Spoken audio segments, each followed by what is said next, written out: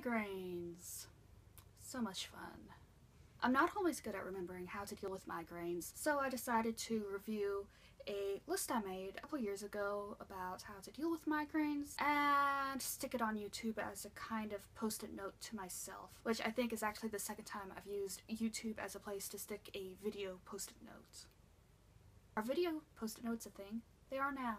Anyways, I finally realized that I can use my old iPhone that I've just been using for music on my speakers to uh, also look at the internet while I'm making videos, so yeah, about time I figured that out. And this list is on my blog, and I posted it on November 26th, 2013, so yeah, a few years ago.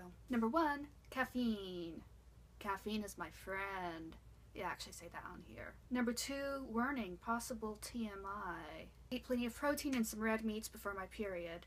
In the past, my period was the trigger for my migraines, so the idea was to baby my body, give it exactly what it needs, and hopefully it wouldn't be so mean to me. These days, often enough, I don't know what the trigger is.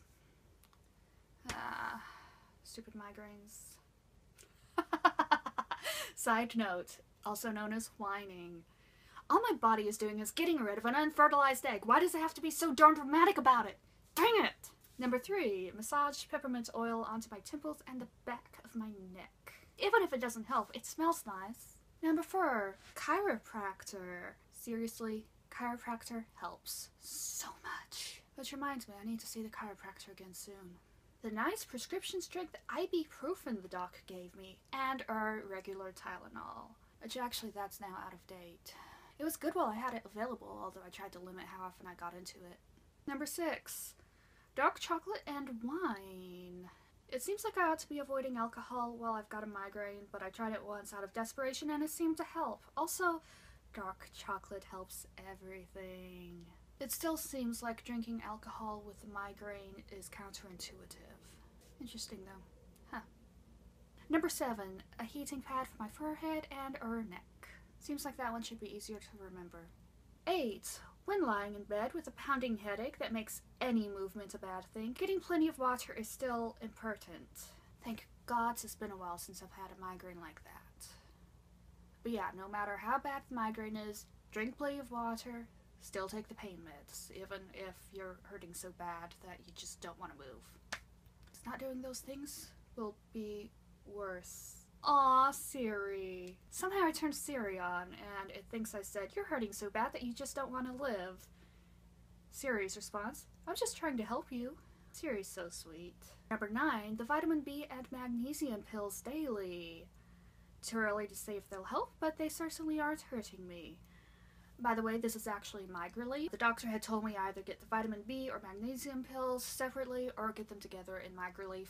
The MigreLief has helped. It it's oh gosh, it pretty much wiped out the migraines for a while.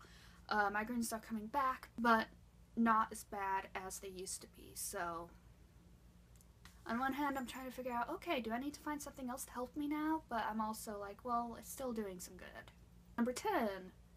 Oh, this one is easy to remember if it's an issue sunglasses when I'm sensitive to light. It's funny, I have different symptoms with different migraines. Sometimes I'm sensitive to light, sometimes I'm not. It's weird. Number 11, never try to predict how a migraine will go or what symptoms I'll have. Though seeing little blue lights and having sort of headache are pretty much a given. These days the little blue lights are not necessarily a given. Odds are it'll be mild, but the migraines seem to delight and surprising me. But yeah, so hopefully this video post-it note will help me remember how to take care of myself. Migraines, even when they're mild, they're still a pain. Oh yeah, and also something I had not discovered when making this list, rubbing Tiger Balm on back of the neck really helps. I love Tiger Balm, it's so good. And it smells good. Kind of works nicely as a perfume. Anyways, I may or may not make more post-it videos, but I will definitely be making more stuff of various stuff. Dang, I'm so articulate. I will definitely be making more videos. So if you want to hear me ramble on some more, click the subscribe button.